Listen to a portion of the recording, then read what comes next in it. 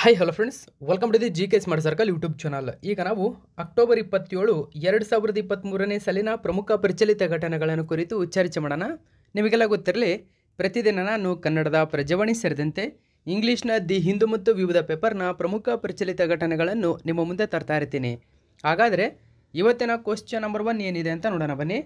ಇತ್ತೀಚೆಗೆ ಭಾರತವು ಕೆಳಗಿನ ಯಾವ ದೇಶದೊಂದಿಗೆ ನೋಡಿ, ತುಂಬ ಇಂಪಾರ್ಟೆಂಟ್ ಆಗುತ್ತೆ. ಸೆಮಿ ಕಂಡಕ್ಟರ್ ಸಪ್ಲೈ ಚೈನ್ ಪಾಲುದಾರಿಕೆಗೆ ಸಹಿ ಹಾಕಿದೆ.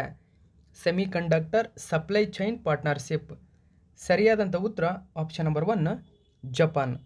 Japan ಮತ್ತು ಭಾರತವು ಸೆಮಿಕಂಡಕ್ಟರ್ ಸಪ್ಲೈ ಚೈನ್ ಪಾಲುದಾರಿಕೆಗೆ ಸಹಿ ಹಾಕಿವೆ.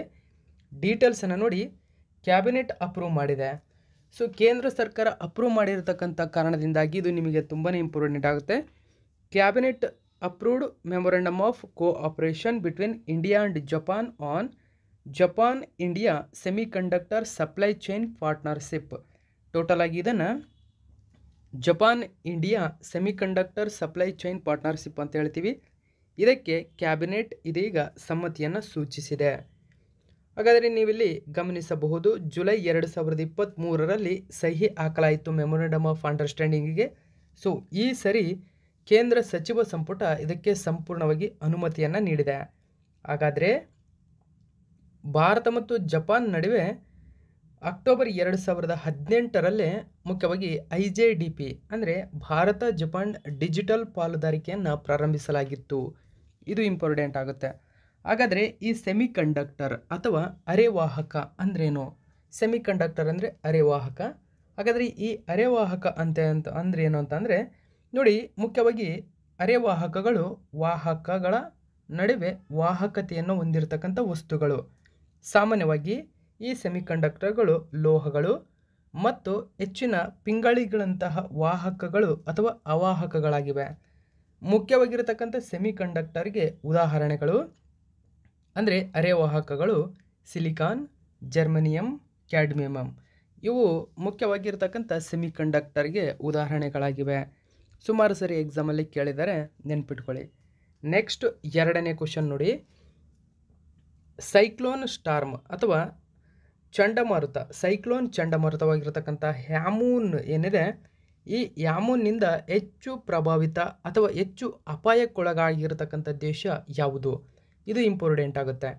ಇದು ಬಂಗಾಳ ಕೊಲಿಯಲ್ಲಿ ಕಂಡುಬಂದಿದೆ ಅಂತಕ್ಕಂಥದ್ದು ಎಲ್ಲರಿಗೂ ಗೊತ್ತು.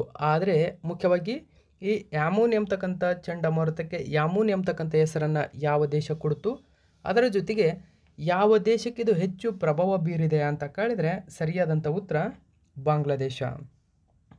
ಬಾಂಗ್ಲಾದೇಶಕ್ಕೆ ಹೆಚ್ಚಿನ ಪ್ರಭಾವವನ್ನು ಬೀರಿದೆ, ಹೆಚ್ಚಿನ ಸಂಕಷ್ಟ ನಷ್ಟವನ್ನು ಉಂಟು ಮಾಡಿದೆ. ಈ ಆಮೂನ್ ಚಂಡಮಾರುತಕ್ಕೆ ಇರಾನ್ ಏನಿದೆ ಹೆಸರನ್ನಿಟ್ಟಿದೆ. ಓಕೆ ಸೊ ಇದರ ಬಗ್ಗೆ ಡೀಟೇಲ್ಸನ್ನು ನೋಡೋಣ. ಸೈಕ್ಲೋನ್ ಹ್ಯಾಮೂನ್ ಬಗ್ಗೆ ಡೀಟೇಲ್ಸನ್ನು ಕೊಟ್ಟಿದ್ದಾರೆ.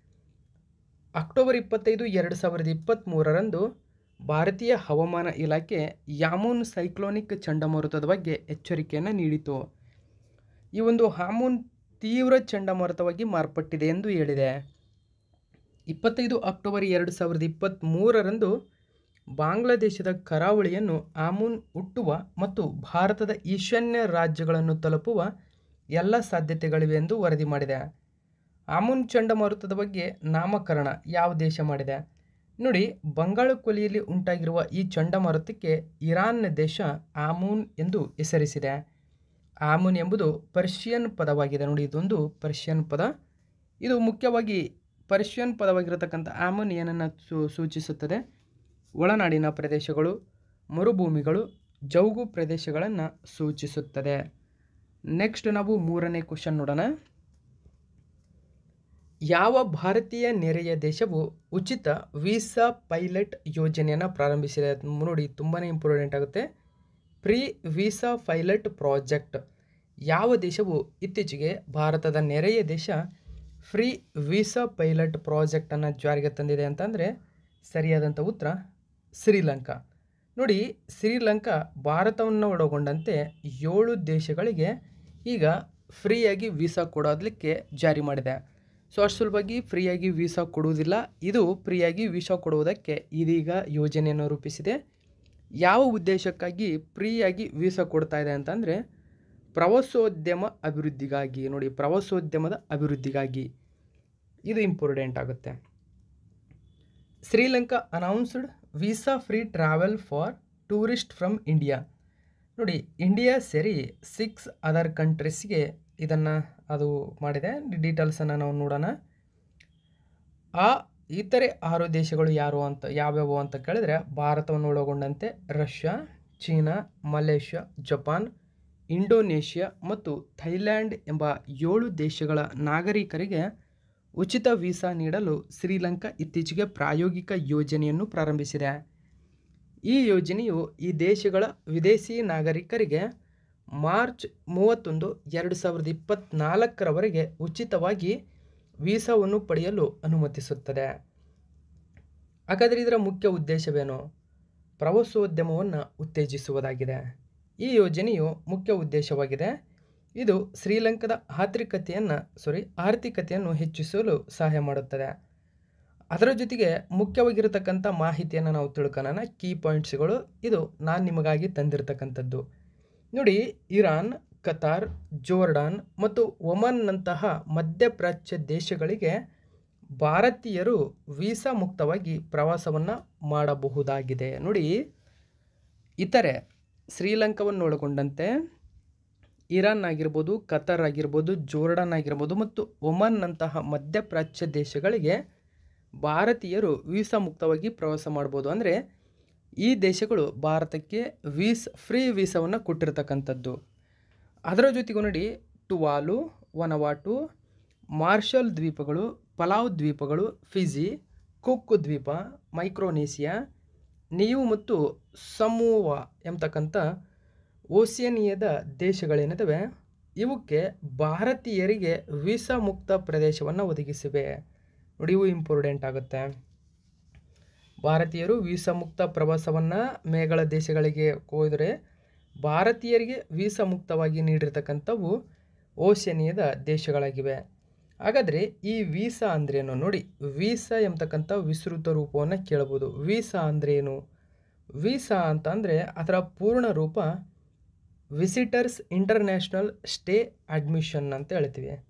ಸೊ ಇದು ವಲಸೆ ದಾಖಲೆಗಳನ್ನು ಪ್ರಕ್ರಿಯೆಗೊಳಿಸಲು ಸರ್ಕಾರಗಳು ಮತ್ತು ಹಣಕಾಸು ಸಂಸ್ಥೆಗಳು ಜಾಗತಿಕ ಎಲೆಕ್ಟ್ರಾನಿಕ್ ವ್ಯವಸ್ಥೆಯನ್ನು ಇದರಡಿ ಬಳಸ್ತವೆ. ಹಾಗಾದರೆ ಭಾರತ ವಿವಿಧ ಪಾಸ್ಪೋರ್ಟ್ಗಳನ್ನು ನೀಡುತ್ತದೆ. ಅದರಲ್ಲಿ ಮುಖ್ಯವಾಗಿ ಬಿಳಿ ಪಾಸ್ಪೋರ್ಟ್ ಅಂದರೆ ವೈಟ್ ಪಾಸ್ಪೋರ್ಟ್, ವೈಟ್ ಕವರ್ನಲ್ಲಿರ್ತಕ್ಕಂಥ ಪಾಸ್ಪೋರ್ಟ್ ಏನಿದೆ, ಇದು ಮುಖ್ಯವಾಗಿ ಭಾರತ ಸರ್ಕಾರದ ಉದ್ಯೋಗಿಗಳಿಗೆ ಮಾತ್ರ ಅಂದರೆ ಭಾರತೀಯರಾಗಿದ್ದು ಹೊರದೇಶದಲ್ಲಿ ಉದ್ಯೋಗ ಮಾಡ್ತಕ್ಕಂಥವ್ರಿಗೆ ಮುಖ್ಯವಾಗಿ ಈ ಪಾಸ್ಪೋರ್ಟ್, ಬಿಳಿ ಪಾಸ್ಪೋರ್ಟನ್ನು ನೀಡಲಾಗುತ್ತದೆ. ಓಕೆ ಸೊ ನೆಕ್ಸ್ಟ್ ನಾವು ನಾಲ್ಕನೇ ಕ್ವಶನ್ ನೋಡೋಣ. ಅಕ್ಟೋಬರ್ ಎರಡು ಸಾವಿರದ ಇಪ್ಪತ್ತ್ಮೂರರಲ್ಲಿ ಭಾರತೀಯ ರಾಷ್ಟ್ರೀಯ ಮಹಿಳಾ ತಂಡದ, ನೋಡಿ ಭಾರತೀಯ ರಾಷ್ಟ್ರೀಯ ಮಹಿಳಾ ತಂಡದ ಮುಖ್ಯ ತರಬೇತುದಾರರಾಗಿ ಯಾರು ಆಯ್ಕೆಯಾಗಿದ್ದಾರೆ? ಸಾರಿ ಫ್ರೆಂಡ್ಸ್ ಇಲ್ಲಿ ಕ್ರಿಕೆಟ್ ಅಂತ ನಾನು ಹಾಕೋದನ್ನು ಮರ್ತಿದ್ದೆ, ಈಗ ಸರಿಯಾಗಿದೆ ನೋಡಿ. ಭಾರತೀಯ ರಾಷ್ಟ್ರೀಯ ಮಹಿಳಾ ಕ್ರಿಕೆಟ್ ತಂಡದ ಮುಖ್ಯ ತರಬೇತುದಾರರಾಗಿ ಇತ್ತೀಚೆಗೆ ಅಮುಲ್ ಮಜುಂದರ್ ಅವರು ಆಯ್ಕೆಯಾಗಿದ್ದಾರೆ. ನೋಡಿ, Majumdar named head coach of Indian women's cricket team. So, ಈ ಒಂದು ಮಾಹಿತಿಯನ್ನು ನ್ಯೂಸ್ ಪೇಪರಲ್ಲಿ ಕೊಟ್ಟಿದ್ದರು ಇದು ಕೂಡ ಇಂಪಾರ್ಟೆಂಟ್ ಆಗುತ್ತೆ, ನೆನ್ಪಿಟ್ಕೊಳ್ಳಿ. ನೆಕ್ಸ್ಟ್ ಐದನೇ ಕ್ವಶನ್ ನೋಡೋಣ. ಇತ್ತೀಚೆಗೆ ಪ್ರಧಾನಮಂತ್ರಿ ಕೃಷಿ ಸಿಂಚಯಿ ಯೋಜನೆ. ವೇಗವರ್ಧಿತ ನೀರಾವರಿ ಪ್ರಯೋಜನ ಕಾರ್ಯಕ್ರಮ. ಅಂದರೆ ಡೈರೆಕ್ಟಾಗಿ ಇದನ್ನು ಪಿ ಎಂ ಕ್ಷಯ್ ಅಥವಾ K S Y A I B P ಅಂತ ಕರೀತಾರೆ. ಸೊ ಈ ಯೋಜನೆಯಡಿ ಜಮ್ರಾಣಿ ಅಣೆಕಟ್ಟು ಯೋಜನೆಯನ್ನು ಕೇಂದ್ರ ಸಚಿವ ಸಂಪುಟ ಅನುಮೋದನೆಯನ್ನು ನೀಡಿದೆ. ಅಂದರೆ ನೋಡಿ, ಜಮ್ರಾಣಿ ಅಣೆಕಟ್ಟು ಯೋಜನೆಯನ್ನು ಈ ಒಂದು ಪಿ ಎಂ ಕ್ಷಯ್ ಎ ಐ ಬಿ ಪಿ ಯೋಜನೆ ಅಡಿಯಲ್ಲಿ ಅಭಿವೃದ್ಧಿಪಡಿಸಲು ಸಚಿವ ಸಂಪುಟ ಅನುಮೋದನೆಯನ್ನು ನೀಡಿದೆ.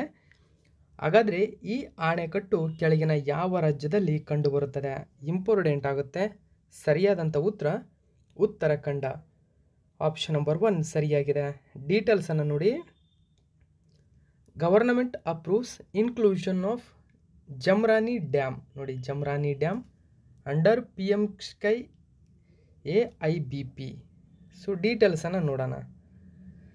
ಪ್ರಧಾನಮಂತ್ರಿ ಕೃಷಿ ಸಿಂಚಯಿ ಯೋಜನೆ ವೇಗವರ್ಧಿತ ನೀರಾವರಿ ಪ್ರಯೋಜನ ಕಾರ್ಯಕ್ರಮ ಅಂತ ಹೇಳ್ತೀವಿ. ಇದರಡಿ ಉತ್ತರಾಖಂಡ್ನಲ್ಲಿ ಜಮ್ರಾಣಿ ಅಣೆಕಟ್ಟು ವಿವಿಧೋದ್ದೇಶ ಯೋಜನೆ ನೋಡಿ, ಈ ಜಮ್ರಾಣಿ ಅಣೆಕಟ್ಟು ವಿವಿಧೋದ್ದೇಶ ನದಿ ಕಣಿವೆ ಯೋಜನೆಯಾಗಿದೆ.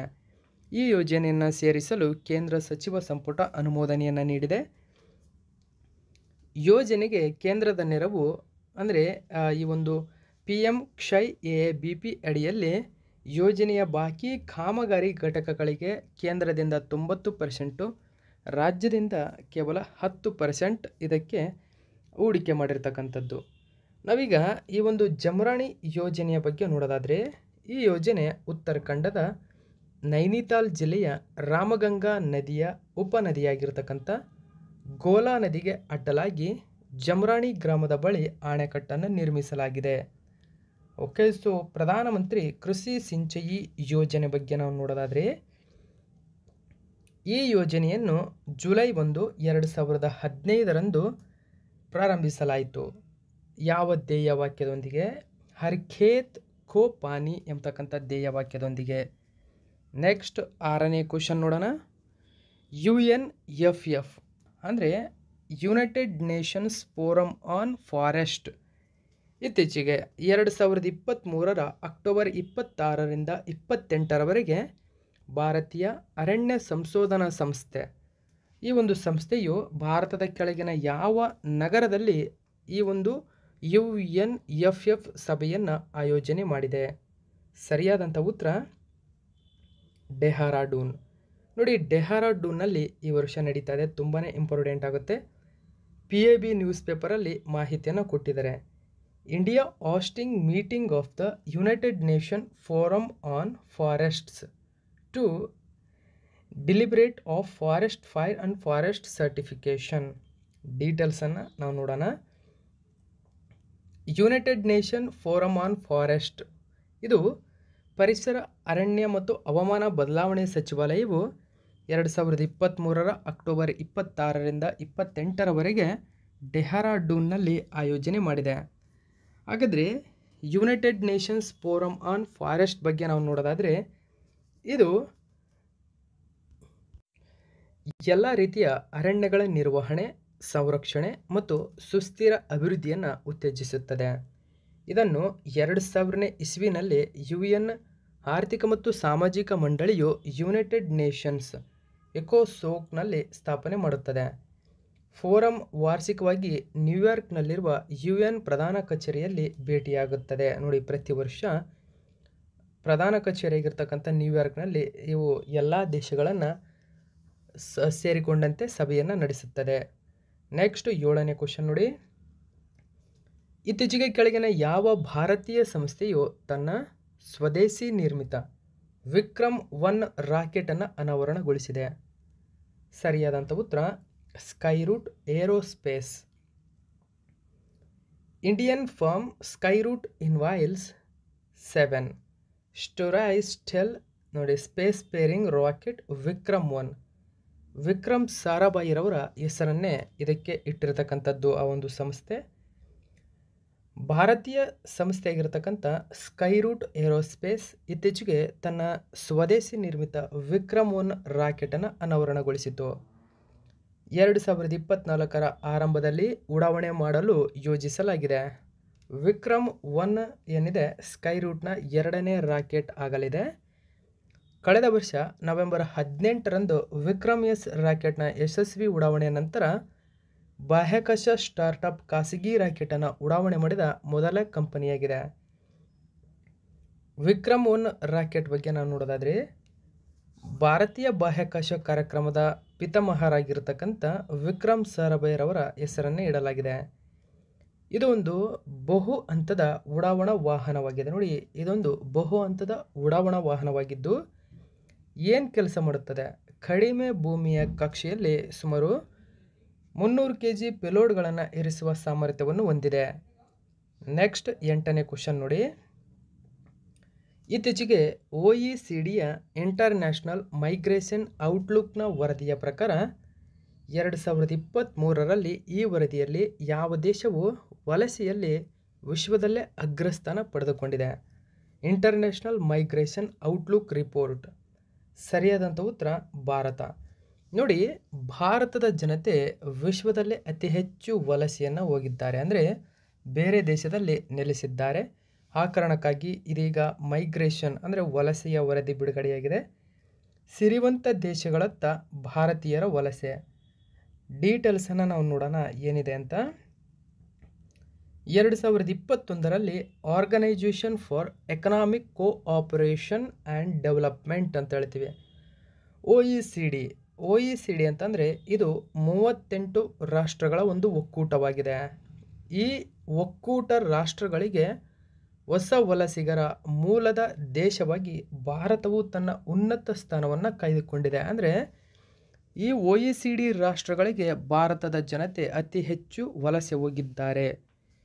ಒ ಎ ಸಿ ಡಿಯ ಇಂಟರ್ನ್ಯಾಷನಲ್ ಮೈಗ್ರೇಷನ್ ಔಟ್ಲುಕ್ ವರದಿ ಬಿಡುಗಡೆಯಾಗಿದೆ.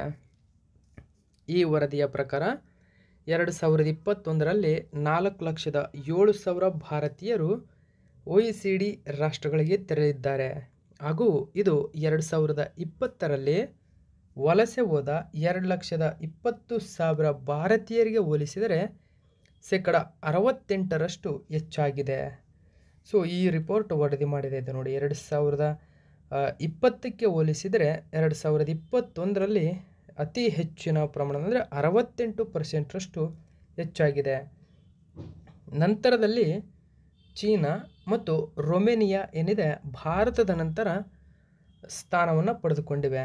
ಅಂದರೆ ವಿಶ್ವದಲ್ಲೇ ಅತಿ ಹೆಚ್ಚು ವಲಸೆ ಹೋಗಿರತಕ್ಕಂಥ ಅಗ್ರ ಮೂರು ದೇಶಗಳು ಭಾರತ, ಚೀನಾ, ರೊಮೇನಿಯಾ ದೇಶದ ಜನತೆ.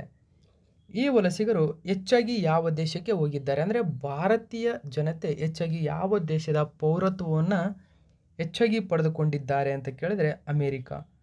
United States of America ಸರಿಸುಮಾರು ಆ ನಾಲ್ಕು ಲಕ್ಷದಲ್ಲಿ ಐವತ್ತಾರು ಸಾವಿರ ಜನ ಅಮೇರಿಕಕ್ಕೆ ವಲಸೆ ಹೋಗಿದ್ದರೆ ಇನ್ನುಳಿದಂತೆ ಆಸ್ಟ್ರೇಲಿಯಾ, ಕೆನಡಾ ರಾಷ್ಟ್ರಗಳಿಗೆ ಹೋಗಿದ್ದಾರೆ. ಹಾಗಾದರೆ ಈ ಒಂದು ವರದಿಯ ಪ್ರಕಾರ ಯಾವ ದೇಶಗಳಿಗೆ ಭಾರತವು ಅತಿ ಹೆಚ್ಚು ವಲಸೆಯನ್ನು ಹೋಗಿದೆ ಅಂತ ಕೇಳ್ತಾರೆ? ನಿಮಗೆ ಏಳಿಕೆ ಕ್ರಮ ಅಥವಾ ಈ ಇಳಿಕೆ ಕ್ರಮದಲ್ಲಿ ಕೇಳಿದರೆ ಅಮೇರಿಕಾ, ಆಸ್ಟ್ರೇಲಿಯಾ, ಕೆನಡಾ ದೇಶಗಳಿಗೆ ಅಗ್ರ ಮೂರು ದೇಶಗಳಿಗೆ ವಲಸೆ ಹೋಗಿದ್ದಾರೆ. ಇನ್ನು ಒ ಇ ಸಿ ಡಿ ದೇಶಗಳಲ್ಲಿ ಅಂತಾರಾಷ್ಟ್ರೀಯ ವಿದ್ಯಾರ್ಥಿಗಳ ಮೂಲದ ಅಗ್ರ ದೇಶಗಳೆಂದರೆ ಚೀನಾ, ಭಾರತ, ವಿಯೆಟ್ನಾಂ. ಅಂದರೆ ಒ ಇ ಸಿ ಡಿ ದೇಶಗಳಿಗೆ ವಿದ್ಯಾರ್ಥಿಗಳು ಅತಿ ಹೆಚ್ಚು ವಲಸೆ ಹೋಗಿರತಕ್ಕಂಥ ದೇಶಗಳು ಅಂತ ಬಂದರೆ ಚೀನಾ ಅಗ್ರಸ್ಥಾನದಲ್ಲಿದೆ. ಭಾರತ, ವಿಯೆಟ್ನಾಂ ಎರಡು ಮತ್ತು ಮೂರನೇ ಸ್ಥಾನದಲ್ಲಿವೆ. ನಾವೀಗ ಒ ಇ ಸಿ ಡಿ ಬಗ್ಗೆ ನೋಡೋಣ. ಒ ಎಂಬುದು ಪ್ರಜಾಪ್ರಭುತ್ವ ಮತ್ತು ಮಾರುಕಟ್ಟೆ ಆರ್ಥಿಕತೆಗೆ ಬದ್ಧವಾಗಿರುವ ಮೂವತ್ತೆಂಟು ದೇಶಗಳ ಅಂತಾರಾಷ್ಟ್ರೀಯ ಸಂಸ್ಥೆಯಾಗಿದೆ. ಇದರ ಸದಸ್ಯರು ಸಾಮಾನ್ಯವಾಗಿ ಮುಕ್ತ ಮಾರುಕಟ್ಟೆ ಆರ್ಥಿಕತೆಯನ್ನು ಬೆಂಬಲಿಸುವ ಪ್ರಜಾಪ್ರಭುತ್ವ ರಾಷ್ಟ್ರಗಳಾಗಿವೆ. ಇದನ್ನು ಡಿಸೆಂಬರ್ ಹದಿನಾಲ್ಕು ಸಾವಿರದ ಒಂಬೈನೂರ ಅರವತ್ತರಂದು ಹದಿನೆಂಟು ಯುರೋಪಿಯನ್ ರಾಷ್ಟ್ರಗಳು ಮತ್ತು ಯುನೈಟೆಡ್ ಸ್ಟೇಟ್ಸ್ ಮತ್ತು ಕೆನಡಾ ದೇಶಗಳು ಸೇರಿಕೊಂಡು ಸ್ಥಾಪನೆ ಮಾಡಿವೆ. ನೆಕ್ಸ್ಟ್ ಒಂಬತ್ತನೇ ಕ್ವಶನ್ ನೋಡಿ. ಭಾರತದ ಚುನಾವಣಾ ಆಯೋಗದ ಆಯೋಗವು ತನ್ನ ರಾಷ್ಟ್ರೀಯ ಐಕಾನ್ ಆಗಿ ಯಾರನ್ನು ನೇಮಿಸಿದೆ ನೋಡಿ. ಇಂಪಾರ್ಟೆಂಟ್ ಆಗುತ್ತೆ. ಸರಿಯಾದಂಥ ಉತ್ತರ ಬಾಲಿವುಡ್ ನಟ Rajkumar Rao. India Today news ಪೇಪರಲ್ಲಿ ಮಾಹಿತಿಯನ್ನು ಕೊಟ್ಟಿದ್ರು ಇದನ್ನು. ಓಕೆ ಸೊ ಇನ್ನು ನಾವು ಹತ್ತನೇ ಕ್ವಶನ್ ನೋಡೋಣ.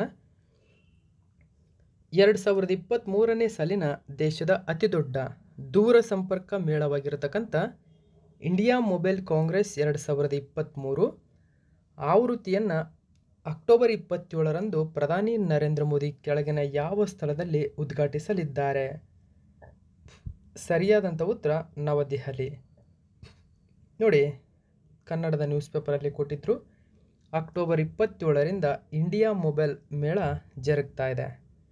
ಸೊ, ಈ ಮೇಳವು ನೋಡಿ ಜೆ ದೇಶದ ಅತಿದೊಡ್ಡ ದೂರ ಸಂಪರ್ಕ ಮೇಳವಾಗಿದೆ. ಈ ಮೇಳದಲ್ಲಿ ನೋಡಿ, ಪುಸ್ತ, ಈ ಒಂದು ಪ್ರಸಕ್ತ ಆ ಆವೃತ್ತಿಯ ಈ ಒಂದು ಮೇಳದಲ್ಲಿ ಇಂಡಿಯಾ ಮೊಬೈಲ್ ಕಾಂಗ್ರೆಸ್ನಲ್ಲಿ ಭವಿಷ್ಯದ ಯುವ ಉದ್ಯಮಿಗಳಿಗೆ ನೆರವಾಗುವ ದೃಷ್ಟಿಯಿಂದ ಆಸ್ಪೈರ್ ಎನ್ನುವ ಸ್ಟಾರ್ಟಪ್ ಸಂಬಂಧಿ ಕಾರ್ಯಕ್ರಮವನ್ನು ಪರಿಚಯಿಸಿದೆ. ನೆಕ್ಸ್ಟ್ ಹನ್ನೊಂದನೇ ಕ್ವಶನ್ ನೋಡೋಣ. ಒನ್ ಡೇ ಇಂಟರ್ನ್ಯಾಷನಲ್ ವಿಶ್ವಕಪ್ ಅಂದರೆ ಈಗೇನು ನಡೀತಾ ಇದೆ? ವಿಶ್ವಕಪ್ ಕ್ರಿಕೆಟು ಇದನ್ನು ನಾವು ಒನ್ ಡೇ ಇಂಟರ್ನ್ಯಾಷನಲ್ ಅಥವಾ ಏಕದಿನ ವಿಶ್ವಕಪ್ ಅಂತ ಕರಿತೀವಿ. ಈ ಒಂದು ಇಶ್ ವಿಶ್ವಕಪ್ ಇತಿಹಾಸದಲ್ಲೇ ವೇಗವಾಗಿ ಶತಕ ದಾಖಲೆಯನ್ನು ಮಾಡಿದ ಆಟಗಾರ ಯಾರು? ಇತ್ತೀಚೆಗೆ ಸರಿಯಾದಂಥ ಉತ್ತರ ಗ್ಲೇನ್ ಮ್ಯಾಕ್ಸ್ವೆಲ್. ನೋಡಿ, ಮ್ಯಾಕ್ಸ್ವೆಲ್ ಇದೀಗ ಸಾಧನೆಯನ್ನು ಮಾಡಿದ್ದಾರೆ. Glenn Maxwell it fastest one day international World Cup so hundred in forty balls ಕೇವಲ ನಲವತ್ತು ಬಾಲ್ಗಳಲ್ಲಿ ಇವರು ನೂರು ರನ್ ಹೊಡೆದಿದ್ದಾರೆ. ಈ ಮೂಲಕ ಈ ಸಾಧನೆಯನ್ನು ಮಾಡಿದ ವಿಶ್ವದ ಮೊದಲ ವ್ಯಕ್ತಿ ಅಂತಕ್ಕಂಥ ಹೆಗ್ಗಳಿಕೆಗೆ ಪಾತ್ರವಾಗಿದ್ದಾರೆ. ಓಕೆ ಸೊ ಇವತ್ತಿನ ಪ್ರಶ್ನೆಗಳು ನಿಮಗಾಗಿ. ಪ್ರತಿಯೊಬ್ಬರು ಇದಕ್ಕೆ ಆನ್ಸರ್ ಮಾಡಿ. ಒಂದನೇ ಕ್ವಶನ್ ಯಾವ ದೇಶವು ಚಂಡಮಾರುತವನ್ನು ಯಾಮೂನ್ ಎಂದು ಹೆಸರಿಸಿದೆ? ಎರಡನೇದಾಗಿ, ವೀಸದ ಪೂರ್ಣ ರೂಪವೇನು?